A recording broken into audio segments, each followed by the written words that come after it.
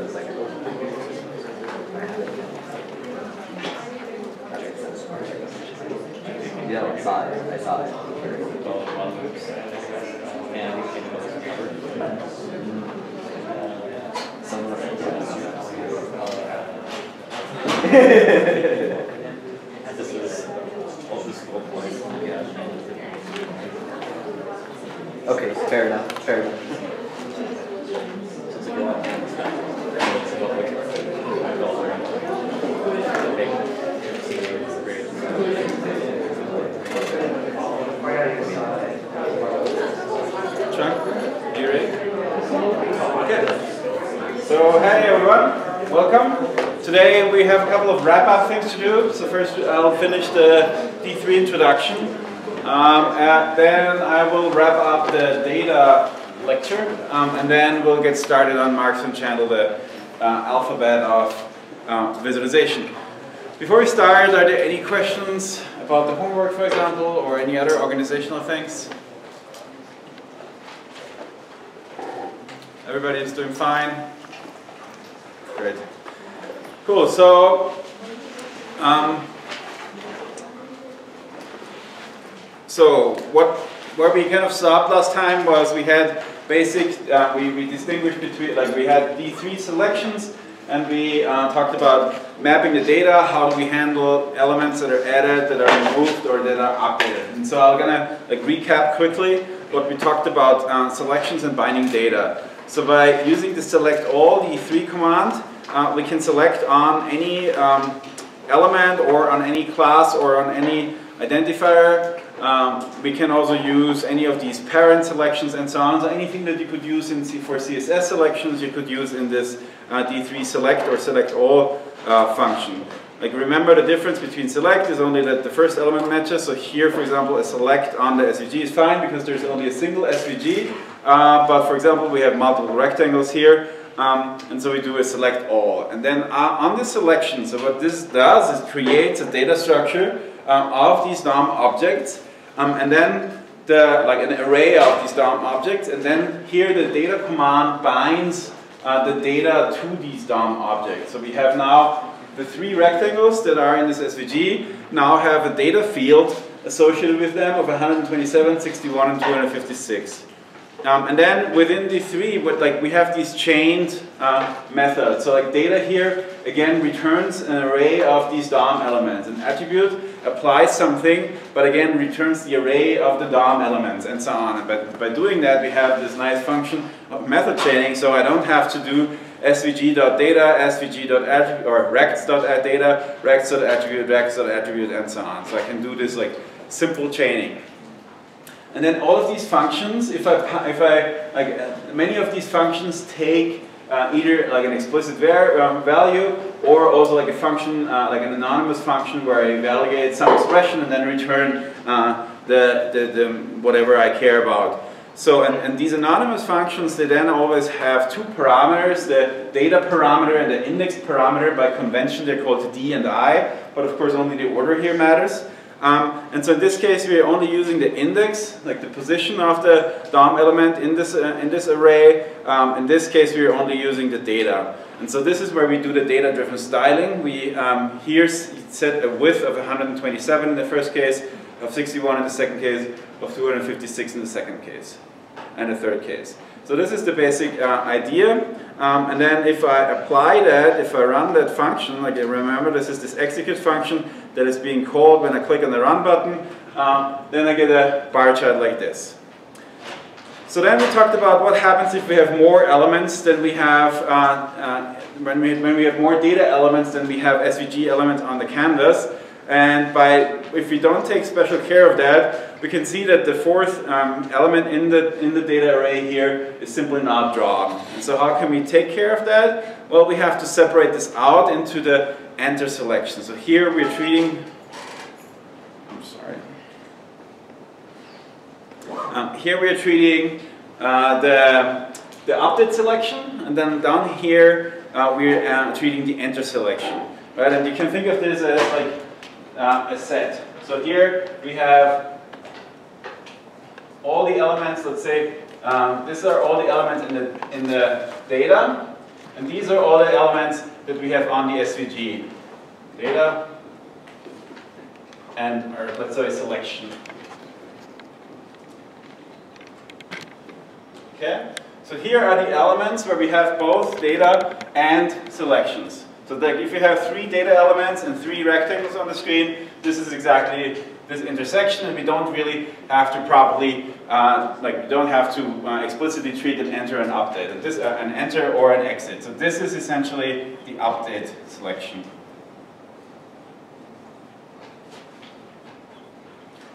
This here are the elements that, where we have data items, but not a, a matching element in the selection.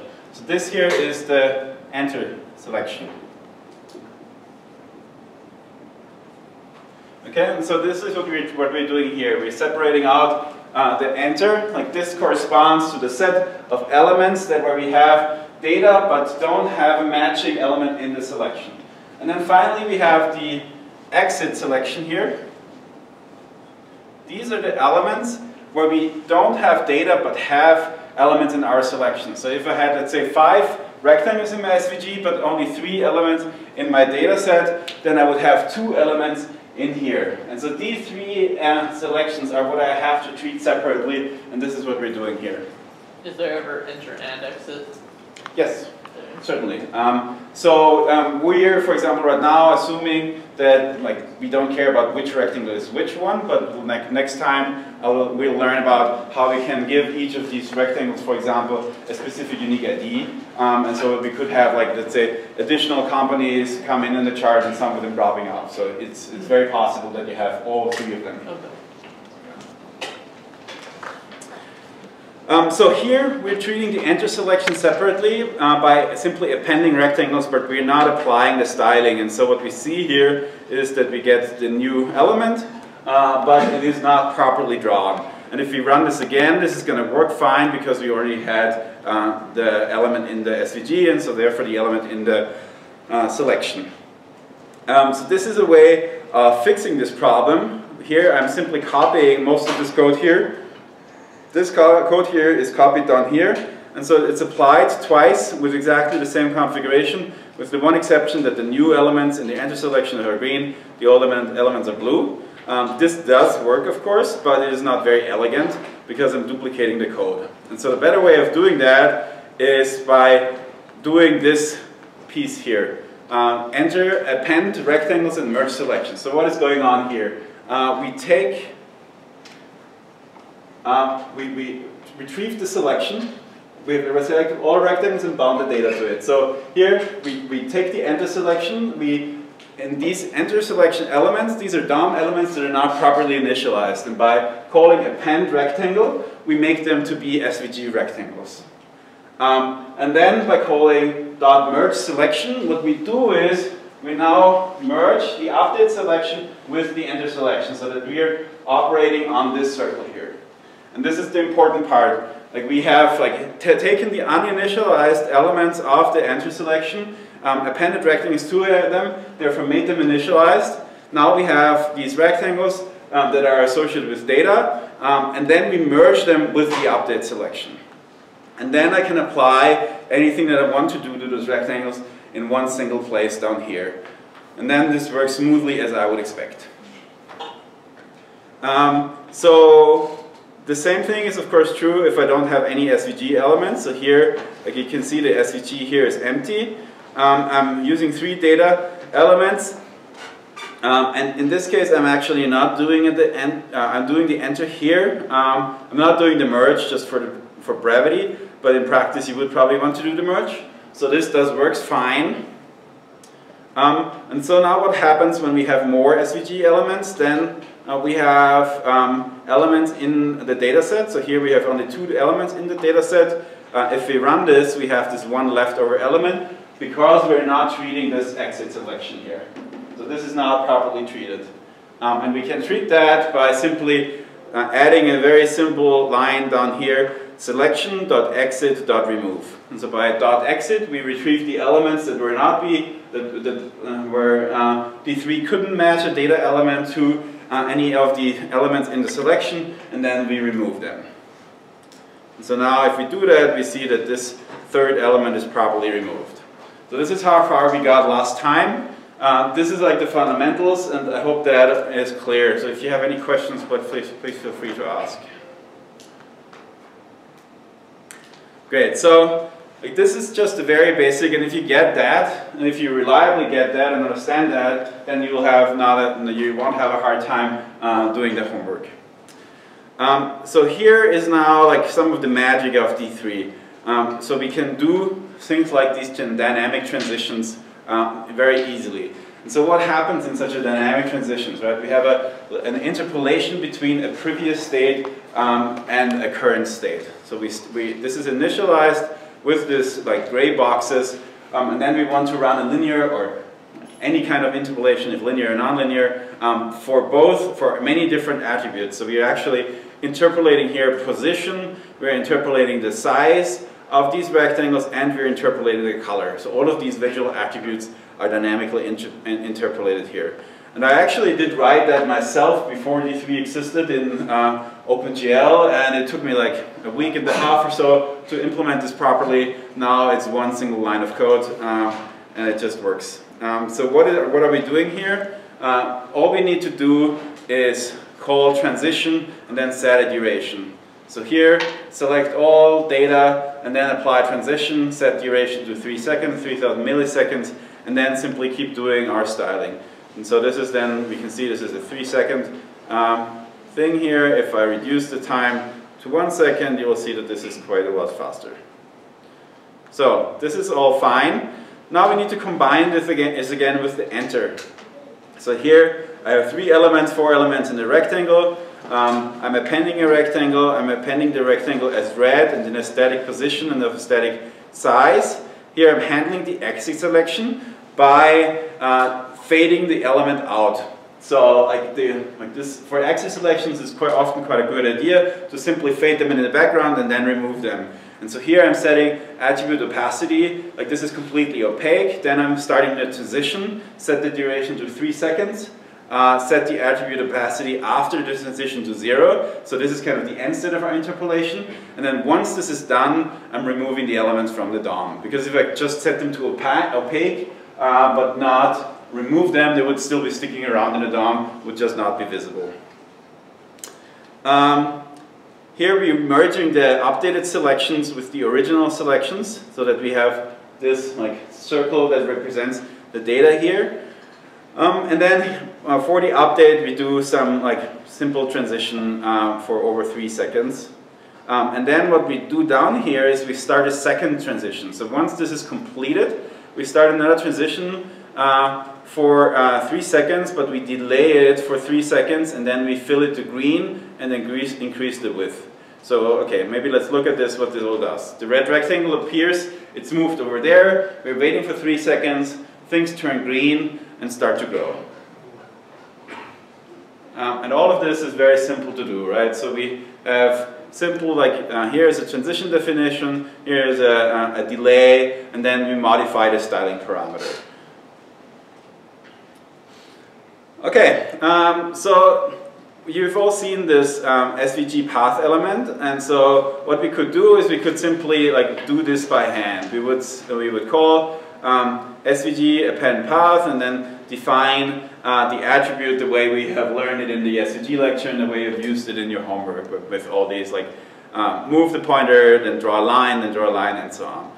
Um, so this works fine, but this can be of course a little bit inconvenient because uh, these values here they're like we want to draw these line charts in a data-driven way as well.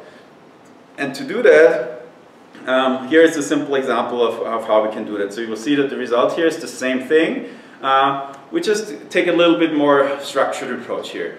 So here we have points that have an x and a y value, um, the x-axis and the y-axis, and we, we store them in an array of points with uh, an, an, array of objects where we have x and y fields. And then we use the d3 line function.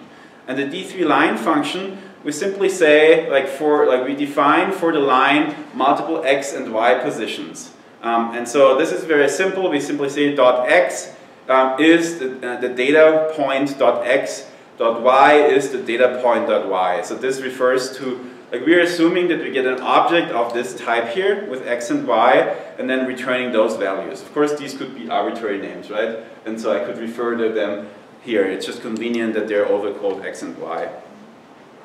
Um, and then we uh, simply call, like here, uh, we simply call the line function with the points as the path attribute. So this line function takes in the data array that we, or the data array that we give it here, uh, converts that into the path element and then uh, applies that. So this is simply, this generates this path element for us, for us and we don't have to think at all about uh, how the SVG path element works in practice. So we can see that this is the result here. Um, and we can also try out a couple of different um, interpolation techniques. So we have seen last time that we can do curves, for example.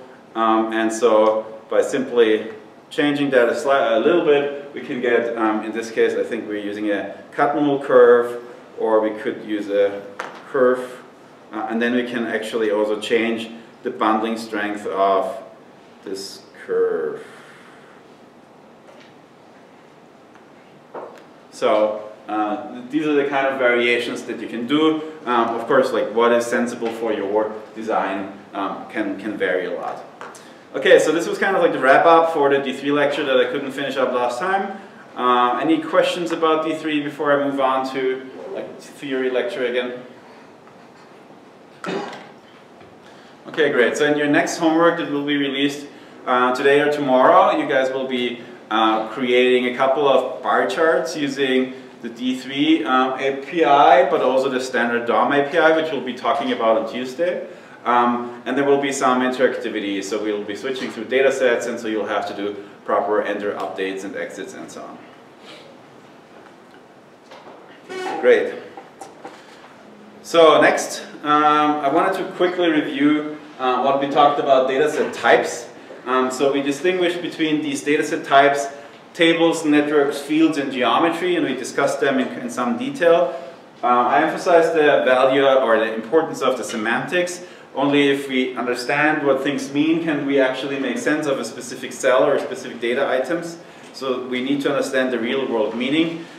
Um, then we uh, distinguish between items and attributes, where items are these individual discrete entities such as patients, cars, stocks, cities, which are called independent variables, and attributes would be these measured, observed, or logged properties such as the height of the patient, the blood pressure of the patient, or the horsepower of a car, or the make of a car, which are commonly called the dependent variables. So here, like these, the people would be the items, and then we would have the attributes um, these observed elements would be name, age, shirt size, and favorite fruit. For tables, we distinguish between flat tables and multidimensional tables. For flat tables, we have one item per row, um, and each column is an attribute. Um, so this is kind of like what you've seen before. Uh, here, the item, um, and then each column being the attribute. We have a unique key that can also be implicit, just the position of the row, but there is always uh, some kind of key in a flat table. And then we can also have multidimensional uh, tables uh, where we have um, indexing based on multiple keys. So we had this example of the genes of multiple patients uh, last time. Uh, we talked about graphs uh, or networks, um, and then we talked about, like we'll talk more about graphs when we talk about graph visualization. Then we talked about different fields, uh, for, especially for about these grid types, how these fields are sampled. Remember, the fields are these continuous uh, data sources and we have to somehow um, sample them. We have uniform grids, we had rectilinear grids, we had structured grids, and we had unstructured grids. Um, we talked about geometry, which kind of defines the shape of the items by using explicit spatial positions, um, which are not really a core visualization topic, but we'll be encountering them when we deal with maps. And then we had other collections such as sets, lists, and clusters. Uh, then we talked more about the attribute types, and here there's a couple of important distinctions. So there's the unordered categorical data, which is also called nominal data, where you only can compare equality. So there is no difference, or there's no orderable difference between apple or, or pears or peaches, uh, or there is no orderable difference between a horror movie and a drama movie. Um, there is, however, uh, like categorical ordered data types, such as, for example, shirt sizes. So these are not, like I can't say like a large shirt is twice as big um, as a medium shirt, but I can make, uh, I can make a, I can order them, I can make any uh, assumptions about their ordering. Um, and then we talked about quantitative measures, uh, where I can do arithmetic, things like length, weight, and count. And then we distinguished interval types from ratio types, and the main difference here was, does zero have a meaning? Is zero equal to none? Um, and if you actually have a meaningful zero, then you have a uh, quantitative ratio type, and if you don't have a well-defined zero, such as for example in temperature or the, uh, a year, um, then you um, have uh, an interval uh, quantitative data type. And so this is kind of like this table that sums this up. We have nominal data type, the nominal data type that only allows us to, to evaluate equality or inequality. Uh, for ordinal data, we can also um, define the order. For interval data, we can do additions and subtractions. And for ratio data, we can also do uh, multiplications and divisions and express proportions. So then we stop with this quiz, and I think we didn't get to this point. This is kind of like in the first new slide.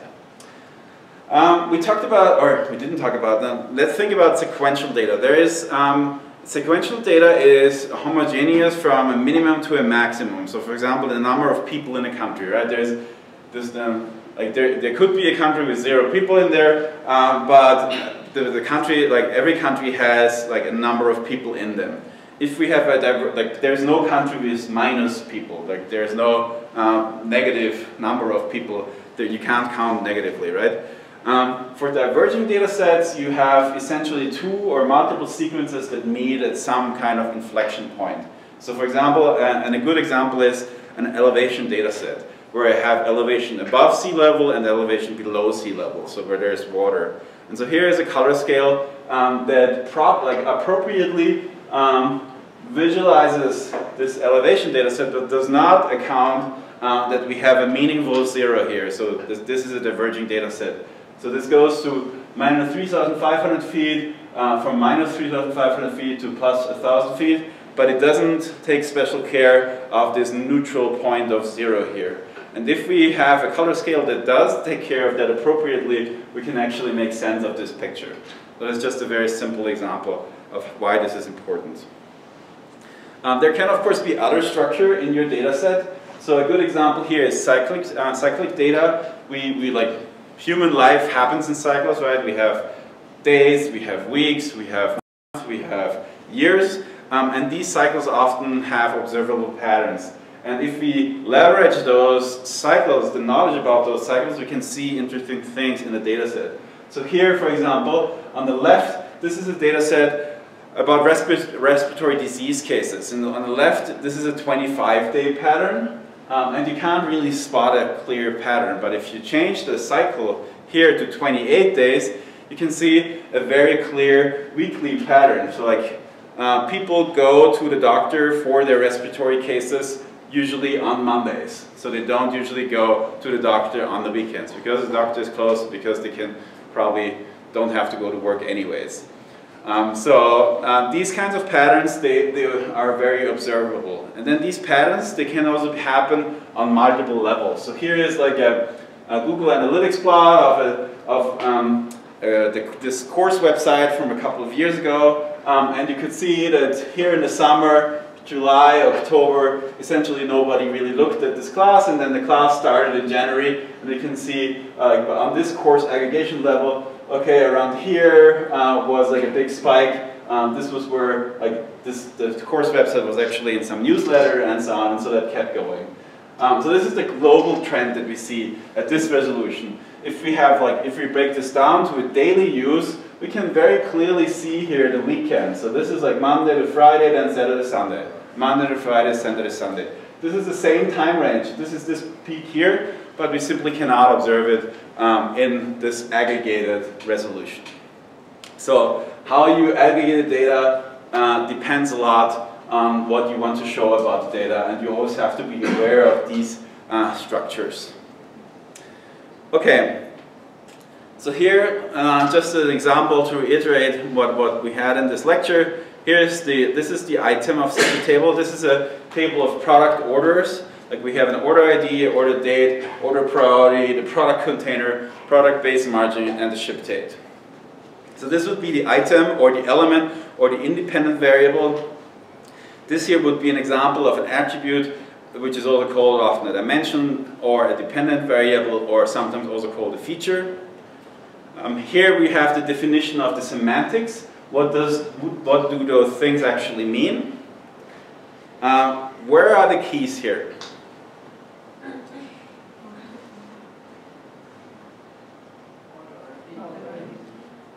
Who thinks it's the order ID? You guys are wrong. uh, the order ID is not unique. Um, so in this table we have like one order can contain multiple items. Um, but this is a, a table of items. So where could the keys be here? The first column. The first column would be. What's that? The row number. Yes. So this is an implicit key here. So it is the row number. Uh, it's not the order ID. Uh, what are the attribute types?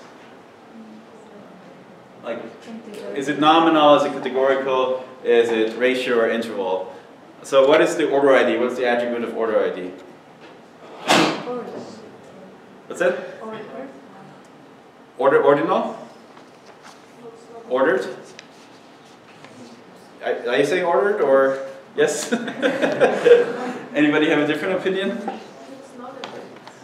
It's, yeah, so you could make an argument that it could be ordered, but you could also say it, the number really doesn't matter, right? It could be a unique key. Uh, I wouldn't want to infer an order by that. What is the order date?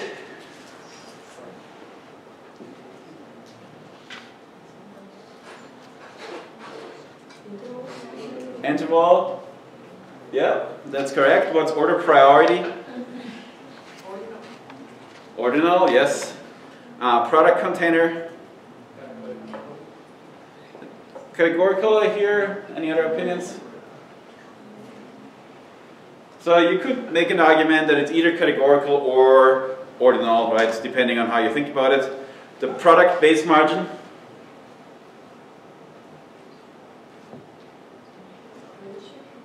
Ratio, correct. Now ship date is order date. So here is just a distinction between like not interval ratio, just categorical, ordinal, quantitative. Um, so here like yeah, this is kind of like debatable whether categorical or ordinal, um, and these are, I would say, ordinal, but could also be categorical. Okay. Um, so then I also wanted to emphasize this difference between uh, like a data model and a conceptual model. The data model is a low-level description of the data um, where we like also have um, operations defined so uh, floats, for example, with additions, subtractions, divisions, and multiplications. Whereas the conceptual model is really more about the mental construction that we try to infer on a data set. So here this includes semantics and supports reasoning. So for example, um, the data model here would be like 1D floats and the conceptual model behind it could be temperature. Or the data model would be a 3D vector of floats. The conceptual model here could be space. So this distinction between like how it is stored and what does it mean is very important. So from the data model, so for example here we would have to uh, we would have a, a, series of numbers like 32.5, 54, minus 17 are being floats. Um, we can make sense of these values by using the conceptual model that these are temperatures um, to a specific data type. So we could define our data type to be quantitative, continuous to four significant digits, or we could bin it into multiple categories as hot, warm, or cold to be an ordinal data set, or we could make, like, we could infer from that, like, a nominal distinction between burn versus not burn. So what we collect in the data, uh, we have to bring in semantics and reasoning about that, and then we very often have to transfer it um, to a data type that makes sense for a specific application. So, um, Right now we have thought about those things in these isolated silos. It was either a graph or a table or a set or a cluster or something like that. Um, but in practice, um, these co combinations are very com com uh, common. So networks or graphs of people, for example, have attributes. Like every person in your social network has an age, an occupation, uh, and other things. So there's both a topology uh, and attributes about those nodes relevant attributes have hierarchies, so I can break down attributes into bigger classes of attributes. Data types can be transformed. And so kind of like the, the point of this slide is really just, just to say that these are sensible abstractions to think about in, in uh, uh, for conceptually, but in real life we have very often combinations for meaningful visualization problems. So real life is complicated. So that concludes the wrap up for the data lecture, and now I want to continue with the Marks and Channel lecture.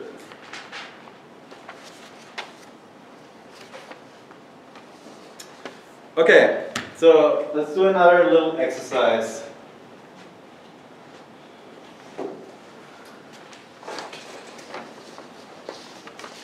How can I visually represent two numbers, let's say 4 and 8? You'll be shouting out solutions and I'll be drawing. How can I show graphically two numbers, 4 and 8? Just write down those values. Okay, sorry. yes? Four sticks and eight sticks. Four sticks, like yes. One, two, three, four. One, two, three, four, five, six, seven, eight. Bar chart. A bar chart, yeah. I could have something like this, and then something like this, about twice the height. Number line. On the number line. Uh, Number line. number line, yeah. This. Um, so what, what, what, what are we using here? Position. Like this is essentially we have a reference point and then we have position at 4, position at 8. Yeah? Area. That's correct. Area. I could have like bubbles like that. Other ideas? Two arrows of different lengths. Two arrows of different length, yeah, which is related to the bar charts, right? Pie chart, make it 12 parts. A pie chart? Which 12 parts? 4 parts and 8 parts. Um, yeah, so something like, okay, how is my like 12? It's like a third roughly, right? Something like that? Other ideas? Right now I'm only using a black pen. I have blue and red. Anybody suggestions? Okay, nobody wants to say color. Good. yes? Have four bubbles and eight bubbles. Yeah, which is kind of related to this up here, right? We have kind of some, some explicit counting, some isotype. So we could have like 1, 2, 3, 4 versus 1, 2, 3, 4, and then we could also do some smart grouping. So we see this is kind of like a um, duplication, yeah? Ratio. Angle? Angle. Yes, we can use angle. 4 versus 8. We could also—it's hard to draw—do like value. I'm just going to do shading here versus something which is much more shaded. So this could be either texture or value or saturation. Uh, but clearly color is not a good idea for quantitative values. Any other ideas? I could use curvature things like. But of course, these get increasingly esoteric. Um, so, like, let's think about this in a bit, a bit of more structured way. Um, when we talk about the visualization alphabet, we distinguish between marks and channels. The mark here represents an item or links. So, like, each row in a table is represented by a mark. And then the channel, they change the appearance proportionally to an attribute based on an attribute. So for example, if we have item person and height, uh, and the person's height is, is what we care about, the attribute, um, then we would use, like for example, the glyph of a rectangle as the mark and the height of the rectangle uh, as the channel. And, we, uh, um, and so this is like how we create uh, these visual variables. Um, also note that in the literature you will find the words channels and visual variables used interchangeably. I also use them interchangeably. I'll try to use channel, but I've also used visual variable a lot, so these two things mean the same thing. So what are the marks for items? It could be like basic geometric elements, such as points or lines or areas. So here we have like, uh, the marks here are these dashes, the marks here are the circles, the marks here are the rectangles, these areas, or here it's these points. Um, it could also be like a line chart, for example, in some way. For um, 3D, you could also, like a 3D mark could also be a volume, but in practice this is rarely used. Uh, marks for links show, like we talked about that, those in, when we talked about Gestalt principles, this is a little bit hard to see, but here is like a, an enclosure. Um, here we have an explicit connections and here are some couple of other examples. So these are the marks that we use for the links. Um, and then we can also use nested containment. Um, so here is an example for um, a Euler diagram where we have like a multi-level nested containment. So this person, Sophia here, belongs to this dark orange group, the light orange group, the pink group, the uh, other pink group, violet group, pink group, and to the blue group, for example. Um, and then we have this, these vocabulary of channels or visual variables. They control the appearance proportional or based on an attribute. And these are the ones that we came up with here. Things like position on like the number scale, or uh, color, or shape, or tilt, or the length, or the area, or the volume. And of course, not all of them are equal. Uh, and this kind of like systematically, the systematic approach to this goes back to Jacques Bertin, who was a French cartographer who passed away in 2010. Um, he wrote this very, very influential book, Semiology of Graphics, that for the first time like came to a structured approach uh, to these visual variables, to these uh, channels and marks. Um, and so he developed these theoretical principles and also provided a ranking of them. And so this is what he came up with. Here we have the marks, points, lines, and areas. And then we have position, size, the gray value, texture, color, orientation, and shape. Um, and so we have since like done very detailed studies as you, like if you've read, read the paper, as you've seen, to understand which of these marks and channels is sensible in which situations.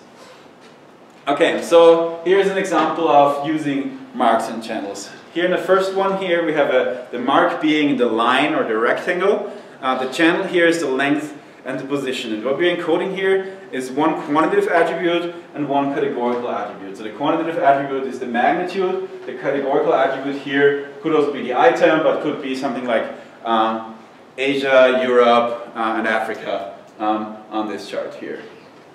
If we use as a mark a point and then channel position, we can encode two quantitative attributes and we get something like this scatter plot. And we can see the relationship between these uh, quantitative attributes very well. If we then want to use um, an additional categorical attribute, for example, to again encode the continents that we had here, we can add, for example, hue. And then we have like, we can distinguish here, let's say, the European uh, values from the African values. And then if we add another one, for example, to encode a third quantitative attribute, we could use size. And so like that, I could, in theory, keep combining these attributes and create these increasingly complex representations Anybody can see a problem with that? Like if I, what happens now if I add, let's say, volume or shading or anything like that here uh, to include more information? So these things are not independent, right? Like um, there is interactions between them. For example, if I have very, very small dots, I can't really see uh, the color anymore. I'll have a better example for that later.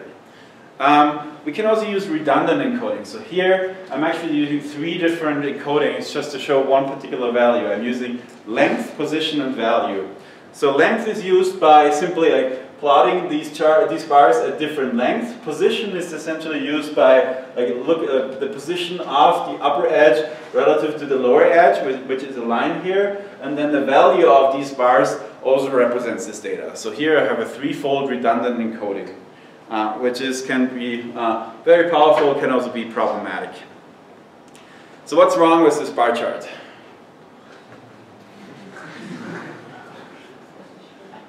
This was like the Snowmageddon season in Boston.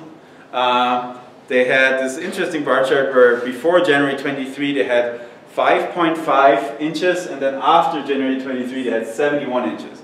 So what's wrong here? this is absolutely not proportional, right?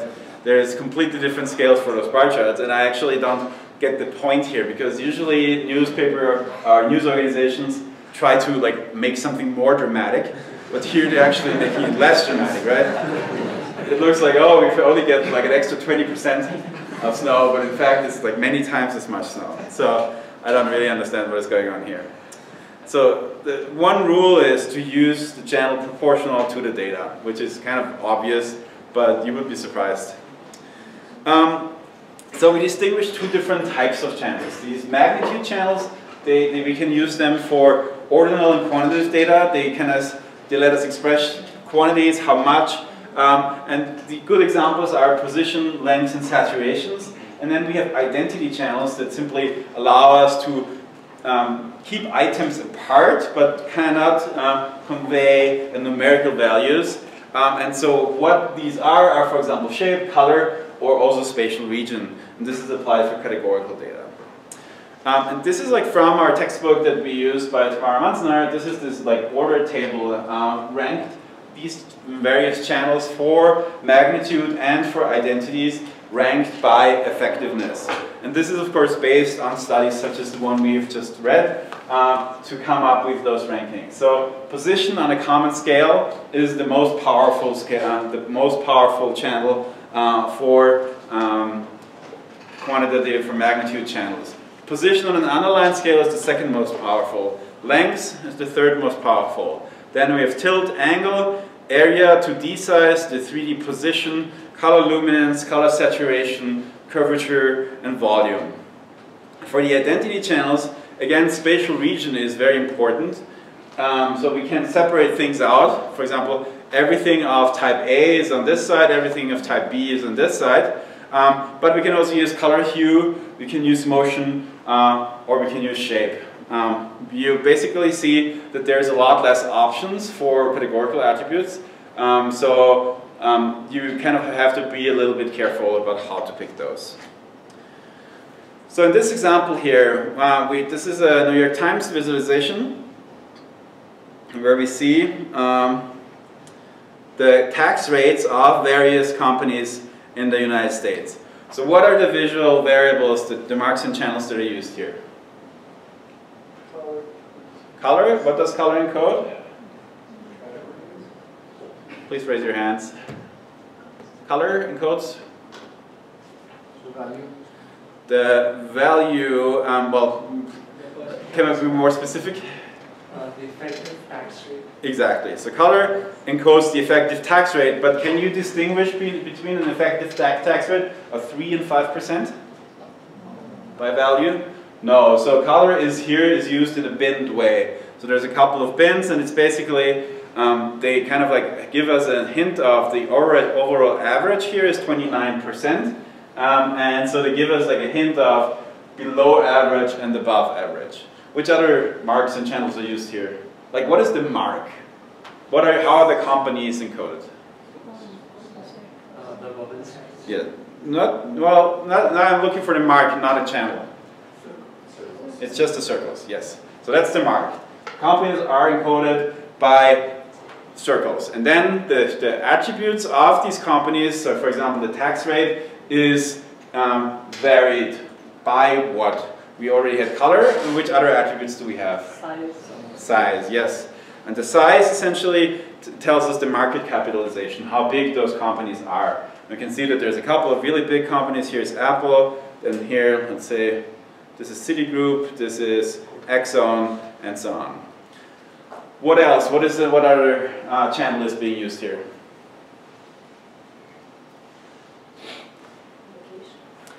Location, yes. Uh, that's also position. Um, and can you be more specific? Exactly. So we have an x position uh, on an x-axis. Do you think the y position is meaningful? Not really. Yeah. It's it's there is kind of like it, this is basically even I'm, I'm even doubtful that the x position is precise uh, because this is probably some force-based layout here. So that you get you should get a rough idea of where, where things are, but I'm sure that the that this is not completely precise, like two multiple digits.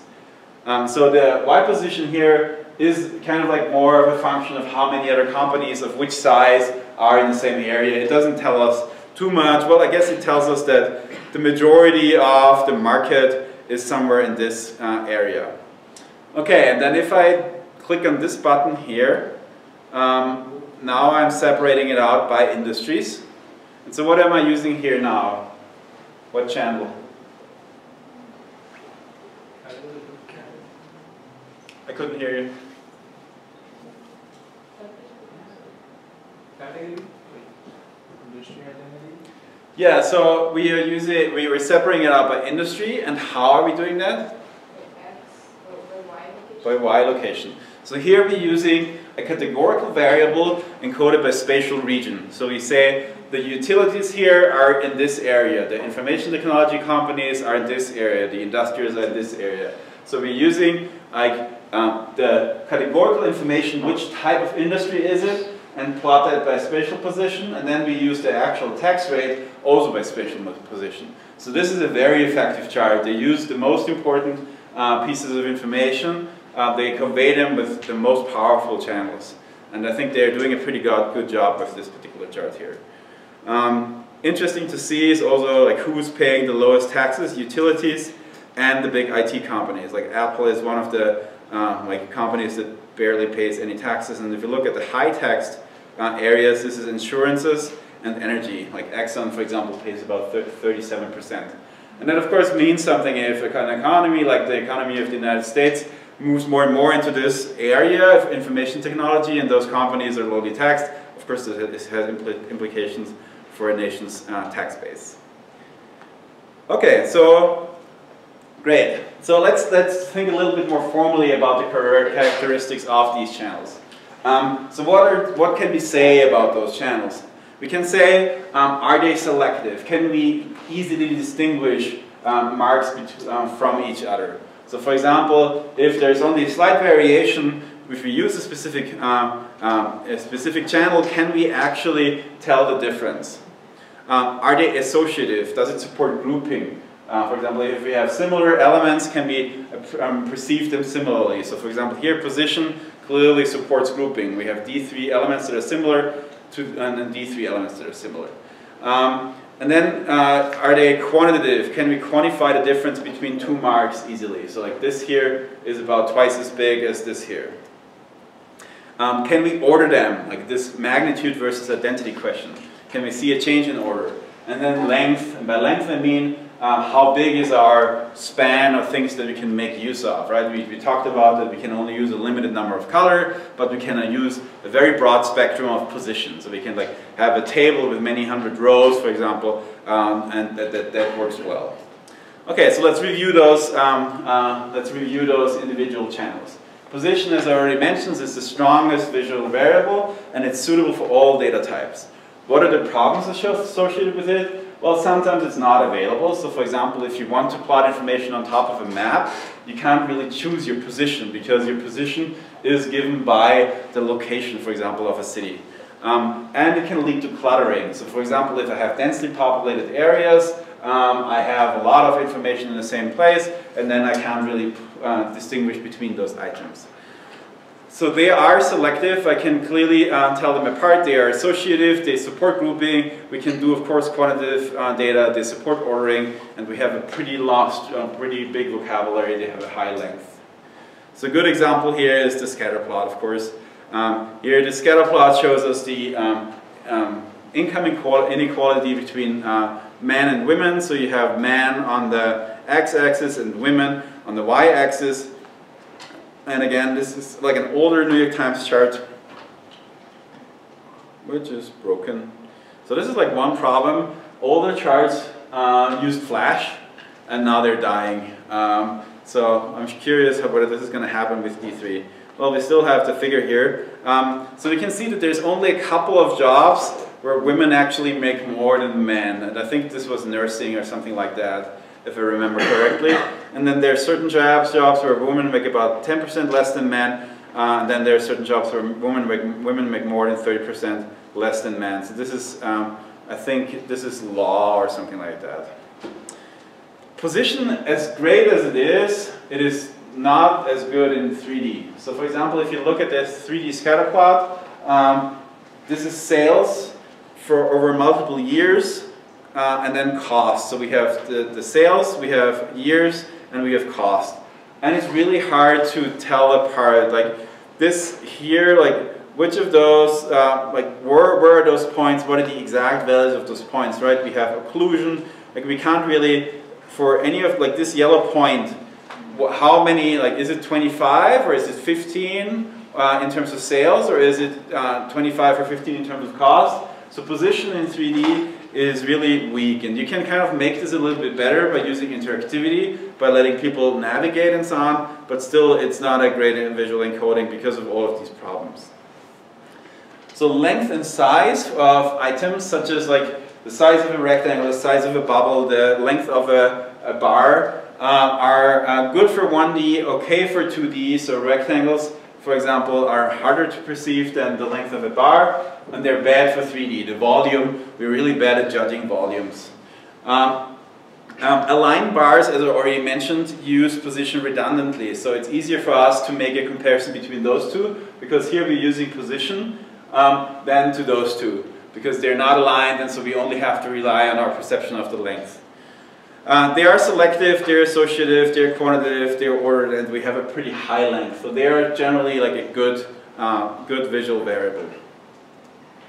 So here is an example um, for using 2D size. This is like um, how, again, a New York Times graphic and how to slice Obama's budget. We'll be looking at this a little bit in more detail uh, at some other point, but what you see here is essentially just the major like the major expenditures um, in the US uh, discretionary spending budget. So we can see Social Security, or it's actually all spending, not discretionary. Uh, Social Security and uh, Health and Human Services here um, are by far the biggest blocks.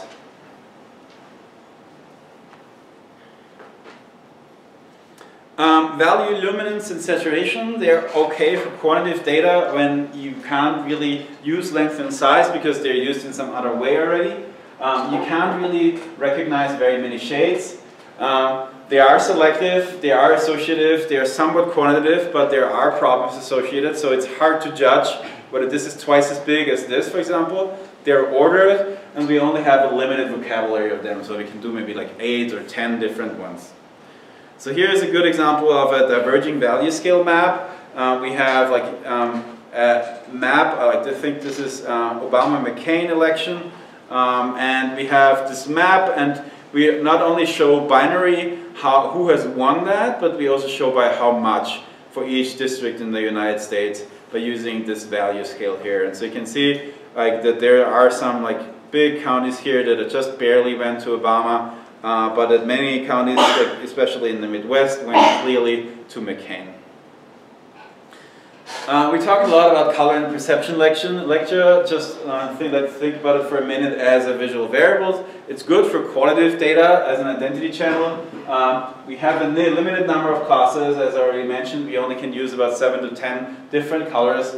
It does not work with quantitative data, and we've talked a lot about the different pitfalls with color, so be really careful when you use that. So my rule here is to minimize color use for encoding data, uh, used primarily for brushing to also leverage these pop-out effects that we talked about, that we have like a clear distinction between a background and then one, for example, selected color. They're selective, they're associative, they're not quantitative, they're not ordered, and we have a very limited length because we only have seven or eight um, colors that we can use. So here is a terrible example uh, of use of color for a quantitative data set. Um, this is estimated fraction of precipitation loss to uh, evapotranspiration. Uh, if in this, like how you or how how much um, how much of the precipitation evaporates quickly. Um, and this is this very very complicated color scale uh, where you have like different colors have completely different meanings. And it's not necessarily, like, there's no clear ordering between those colors. So if you're not trained at looking at this color scale, you might actually think that these dark values here, for example, are high, but they're actually pretty low, right? They're lower than the brown values down here. So there is no, there's no clear ordering. Um, experts still tend to like those because they are used to seeing those but you have to really train uh, to understand such a color map. So it's not easy to learn. And I would argue there's better ways of doing that. And I think I already showed this particular chart. This is a good example of the use of color, where I simply want to highlight one aspect. Um, for example, here, this is the uh, football, uh, Peyton Manning's pass record. Um, and, and the distinction that they use for color here is just like who are the active players. They want to emphasize those because they could, in theory at least, still beat Peyton Manning's record versus everybody in gray is already retired. So this is like a great example of the use of color because it highlights one important point um, and it clearly pops out. So shape is great to recognize many classes, but unfortunately we have neither grouping uh, nor ordering. Um, so they are selective, but uh, the associative power is very limited. Uh, they are not quantitative, they are not ordered, um, but we have a gigantic length. And so clearly there is no ordering between, for example, these three symbols here. Um, but you probably recognize all of those symbols. So we have very, very many different symbols that we can use, that we can leverage. Um, that is like great, but you also have to learn them, right? And, the, and again, there is no ordering and it's hard to encode anything but, but identity to them. People have actually tried to use that uh, to encode quantitative data. So this is a, a, an influential paper from like very early, I would say, visualization paper. Um, and the theory behind that paper is that we as humans are really, really well trained to, um, to see faces, right? We can see very subtle changes in faces. So for example, these two faces here are only subtly different, but we, see, we can very easily make out that difference. Um, and we wouldn't be quite as good if it were not some like facial glyph. And so the idea of this person, Chernoff, who was a statistician at Harvard, was to use facial parameters to map the quantitative data. So he would take five or six different numerical values and then map them at, um, to the distance between the eyes, the length of the nose, the curvature of the mouth, the curvature of the face, and so on. And so this was the idea behind that. Who thinks that works? It is really, really hard to see that. Like, it's clear for us that there's differences, but we cannot translate it back to the quantities that we want to represent, right? Like the eye size here is pretty big. Okay, we can make an explicit effort of thinking about that, but what other factors play a role in that particular phase is just important for us to see. So there's a link to a detailed critique on these Chernoff faces, uh, because for, for a period in, in visualization they, they, they wouldn't go away, but now they have gone away. Um, there are many, many more channels, right? There's this website here that shows us 45 different ways to communicate two quantities. So we could have like one thing that we didn't mention are, are writing or num, uh, or like just numerals like either Roman or Arabic numbers. Um, here we have these squares, repeated icons, uh, bars, line graphs, splice bars, and so on. So there's many, many more here, and some of them are really weird, like uh, icon surfaces, volumes, special metaphors, and so on. So you can take a look. This is more like uh, illustrative. This is actually an interesting one. This is Fat FatFonts. Uh, FatFonts tries to like mix um, the, the numerical representation with the appearance. So like a 7 here is appears darker than a 3. Um, I think I have an example sometime later in the lecture, um, in another lecture. So I'll go a little bit more into those FatFonts. So why are those quantitative channels actually different? So it turns out there is um, like there is like some um, theory behind that. So first, um, Stevens has studied um, the relationship between the physical intensity of a stimulus to the perceived sensation. And so he has found that the only, um, the only um, stimulation where the stimulation matches to the actual physical, physical intensity, where we have a linear relationship between those, is length. And that's why length and position are these great visual variables.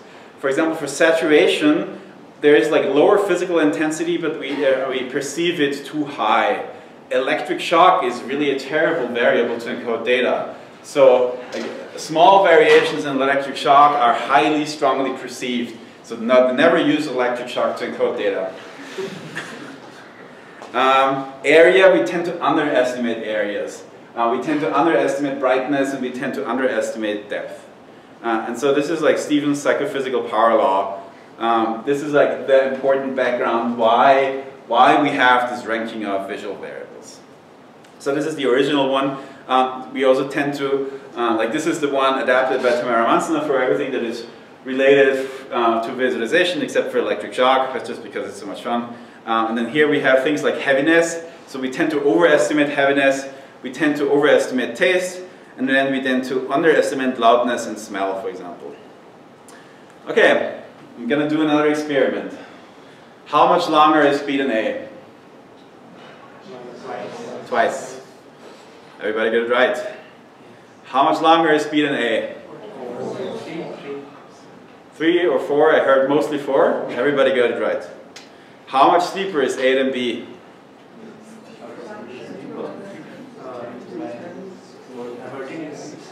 I hear like many different things. Six, three. The answer is about four times. So we can see that way less consensus on how much steeper A than B is. How much larger is B than A? Three, four, twice, six. Again, a lot of variation. It's about five times as big. How much bigger is B than A? Three, four, two times, with the caveat by diameter. Um, so if you look at the bubble, uh, what do you mean? Do you mean diameter or do you mean area? And that's a common problem. You should always, if you do that, you should always use area. You should never use diameter uh, because we perceive the area here. So this is twice the diameter, but means four times the area. How much larger is this now based on area, B than A? Twice. One and a half, it's three times. How much darker is B than A?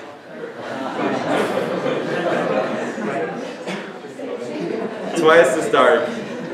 How much darker is B than A? Five, four, about three times. So the, the point of this is really to demonstrate to you, like empirically, that everybody got position rights, right? Nobody, there was like, everybody said twice in like the same second, every time, everybody said four times the same second when I used position. Uh, but then everything else was very, very varied. Um, and there's this interesting game here that, uh, again, the flash problem. Um, so here, this is this eyeballing game that kind of like tells us a little bit about our weakness of our perceptual system for those things. So I'm trying to like make this a parallelogram and oh, I'm actually quite wrong here again. Like I'm trying to find the midpoint of this line segment. This was good. I'm trying to bisect the angle. Well, not very good. Like you can see that there are certain things that we're good at, that's other things, like mark the point that is equidistant from all of the edges. This was pretty good. Here the center of the circle. So you can play around with this and find, like, again, all of these angle judgments, oh, this one was pretty good, but all of these angle judgments are, are hard for us. The point of convergence.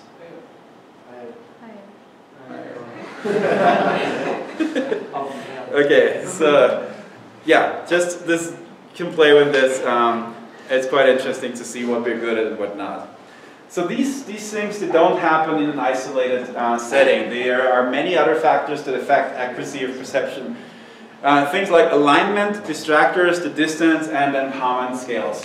Um, so here, for example, we're using unaligned bar charts, which is harder to judge for us than framed unaligned bar charts. So here we have the bar chart A and the bar chart B, um, and we can simply make these comparisons in a, like, in a better way because we can also judge the proportions here between those ratios uh, instead of just judging the length. And then if we have uh, unframed but aligned, we, this is very easy for us to see that A is bigger than B. And then here we have a couple of distractors. So this here is harder to compare than this or this or this. Like here, this is actually, like these are actually of a different height, but I, even knowing that, it is hard for me to say which of those is the bigger one, right? Just because of the distance. So all of these things affect accuracy. Um, there's many other factors. And then we're getting to this paper now. Uh, this is the original study by Cleveland McGill uh, from 1984, and they studied these things in, in these kind of like um, ecologically valid environments. Um, and so they, they studied like which of these uh, marks uh, is easiest to perceive. And so this is not a replication study. Who has read the paper? Everybody should raise their hands, is mandatory. Who wants to give a summary?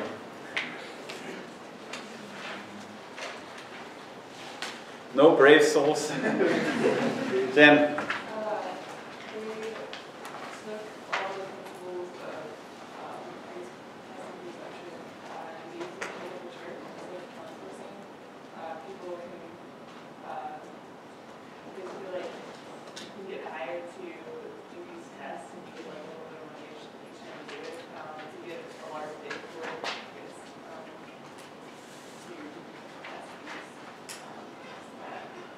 Yes, okay, so let's, let's think this a little bit. So they used Mechanical Turk to do a perceptual study like this.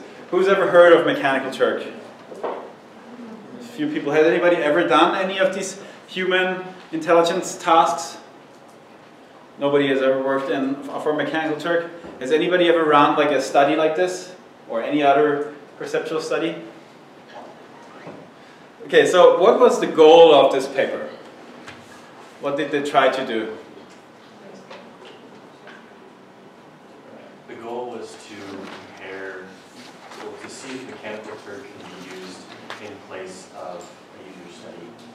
Okay, yes. Uh, in, in place of a user study, can you be a little bit more specific? Um, because because mechanical Turk, Turk is much cheaper than paying um, participants in a user study. Yes. Price is one argument, so like, um, okay, let's just recap, like in case anybody hasn't read the paper. So Mechanical Turk is this Amazon platform where you can give simple human intelligence tasks to a big group of people and you pay them using micropayments. So for example, for every task that you complete, you get like 5 or 10 or 20 cents. Um, and you can actually leverage that for many different things. So it's been widely leveraged to do, uh, to create labeled data sets for computer vision, for example. Like ask people to see, uh, to answer what, is, what do you see in this picture, and then they would say birds, leaves, what is the color of the picture, and so on. All of these things can be like done in these human intelligence tasks. And these guys, and this has been used also for, for studies, right, to, to get some kind of like surveys in uh, to study human behavior. And these guys here did a rigorous evaluation of the suitability of the use of mechanical Turk for perceptual studies um, targeted at visualization. Okay, and so what were the experiments that they ran?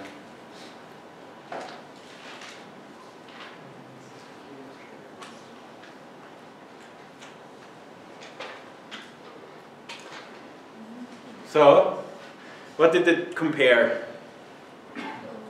One experiment was that uh, there were two rectangles given and you had to tell which one is smaller than, by what percentage one is smaller than the other. Yes, exactly. So they, they did like one study where they replicated the Cleveland McGill study and then compared those rectangles, right? Um, and and they, they did most of these elements, but they also studied things that were not really popular. When Cleveland McGill did this back in the 80s, they didn't really like use too many bubble charts and they didn't use tree maps. So they added those two techniques. Um, and what did they find? You're welcome to look at the paper while you're giving an answer.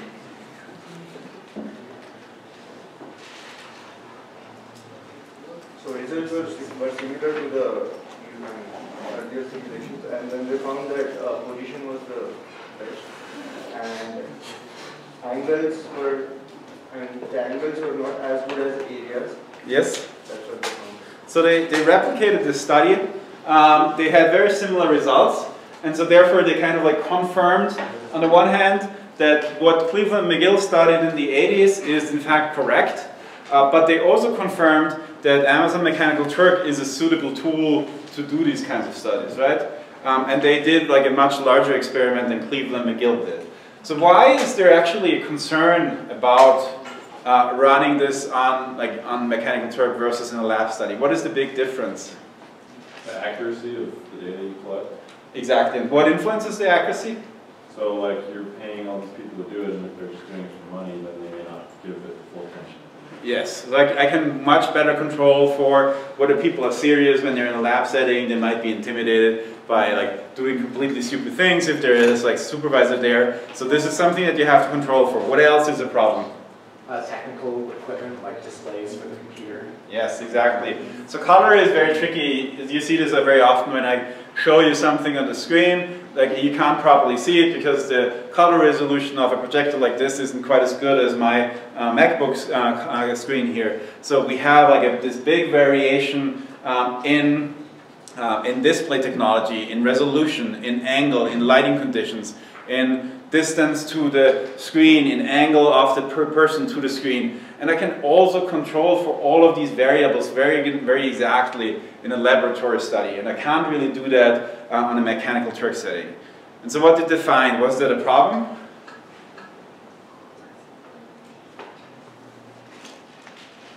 So they, they showed that for these tasks where it's about position and, and, and uh, area and so on, it, it, was evidently not a problem, right? Because those that don't depend too much on the color. So what, what is the benefit of running this on uh, mechanical Turk compared to uh, a lab study?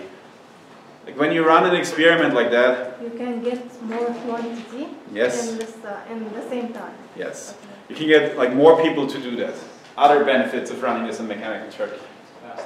Let's go. Cost, faster, less cost. Usually in the cell, in the cell, in the user, Yes. uh, taking the test. Exactly. You wouldn't believe how well studied college undergraduates are and how, how badly studied, for example, like senior citizens are. Uh, we tend to like have a strong bias towards convenient samples um, because it's just so much easier to simply recruit six of your lab mates for a study than it is to go out and try to like replicate the population's number. Of course, Amazon Mechanical Turk comes with caveats too, uh, but you can actually adjust the parameters of the demographics of the people that you want to find so that you can kind of sample the population. So we have a little bit more, this is called like ecological validity, right? uh, we have a little bit more ecological validity with respect to our population, potentially. What, there's another aspect of ecological validity that we already touched upon. That would be the screen, yeah, like the environment. Like people don't look at these visualizations in a controlled lab environment, right?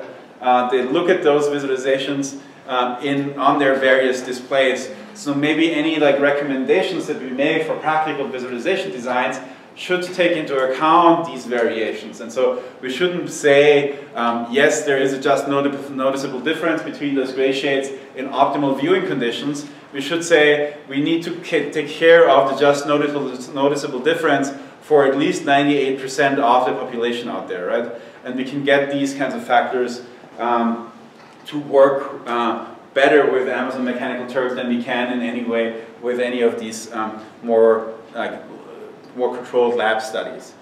Okay, so um, what other studies did they run?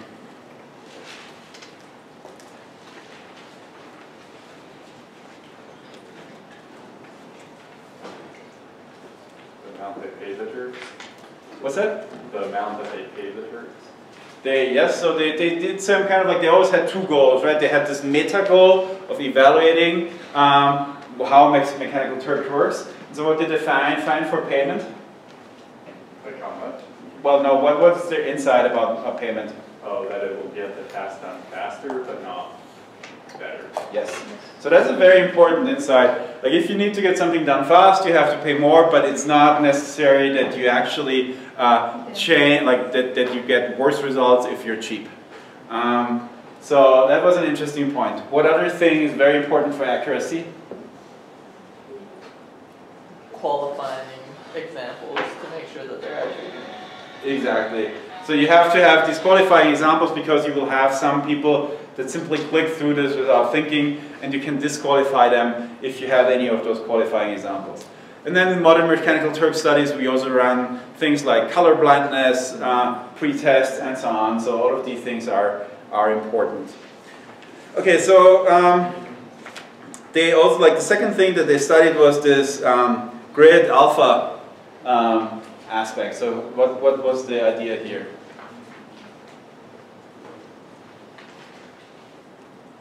So they were trying to find out uh, how mean, the grid lines. So by adjusting the alpha values, so what alpha value is good, so as to like, distinguish between the grid lines Yes, background.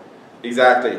So they were trying to find out um, what is a good alpha value, like uh, how, how prominent do those grid lines have to be uh, under various conditions. And they replicated a, a fairly recent laboratory study, like one year before um, they did this study. Um, and again, they kind of replicated their results, but they had a little bit more variation, I would say. Um, and this is again, why is this not surprising that they had more variation here? because it depends on the system. Yes. Different display configuration. Exactly. So uh, size and so on is going to be more faithfully represented across multiple screens, whereas we have these systematic differences between operating systems, even uh, in terms of how the alpha appears on different screens um, and so on. So there was a little bit more variation, but they concluded that you could still um, could still use this data in a like basically they saw the same trends, but they had some like a little bit more variation in that. Okay, so um, who like any comments about this paper? Did you find this a good paper? You, anybody?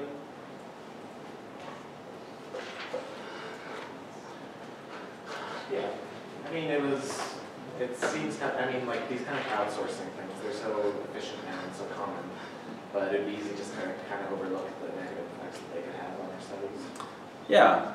So this is crowdsourcing has been like this is kind of the early phase, right? This is seven years ago, uh, and ever since crowdsourcing has been increasingly popular to, to study uh, perception in many different ways. So if you go to like a typical visualization conference nowadays, you would find like at least 20% of the paper use some kind of crowdsourcing.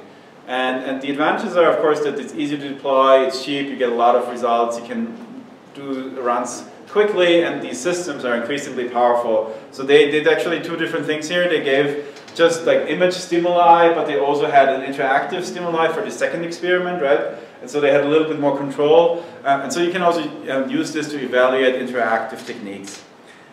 Okay, let me see whether there's anything else that I wanted to talk about. Yeah, so this is a figure from their paper. Um, you can see that essentially the Cleveland-McGill results, they, they were very like similar to what they um, had. Um, the ordering stays exactly the same. They have a little bit more variation in these error rates, these 95% confidence intervals um, for the log errors. Um, and so here is like this, this um, ranking of these visual variables uh, for these quantitative ordinal nominal uh, data sets by like an other ranking by uh, decreasing suitability. And this is just to emphasize again that position here is consistently at the top. Um, yeah, I think we've talked plenty about this. Um, so now I kind of like the one thing that I, the last thing that I wanted to talk about today is the separability of attributes. So I kind of alluded to that at the beginning, um, that we have multiple visual variables. So we can, for example, combine position with hue, and these are fully separable. These are kind of like independent of each other to some degree. Um, then I can add size, uh, but I'm starting to notice some interference, right? The color of this little bubble is not as obviously perceivable as the color of this big bubble. And obviously, if I went into the extremes and make this smaller and smaller, uh, the hue um, is going to be harder to, and also the position is going to be harder to spot. Um, if I start to modify width and height, then I, I have um, quite significant interference. So these are not independent uh, anymore.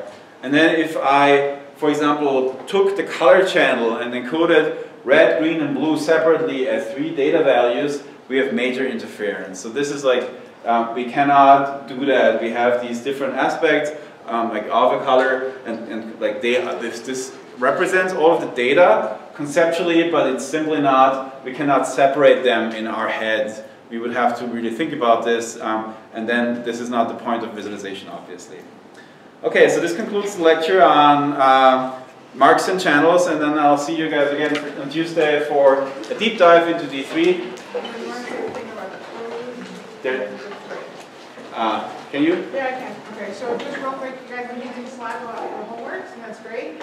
You want to be very careful with posting too much code. There's a few examples where we've had to delete the message, so I know it's just a screenshot of your constructor. The moment you put it up there, someone else can use it. It's not your fault, but then it's definitely plagiarism, so be careful with that. The other thing is, for those of you who have been using Slack, you've probably noticed that the messages get all mixed up if two people are asking at the same time. So the way we're going to do that is once you ask a message, all of the answers and discussion is going to go into a thread. And if you want to answer, just put, there's a little message bubble, and you say start thread, so that only, the only thing we're going to see is the questions on the main channel, and all the discussions are in threads. So just try and remember to do that to keep it a little more organized. Okay, great. So see you guys Tuesday.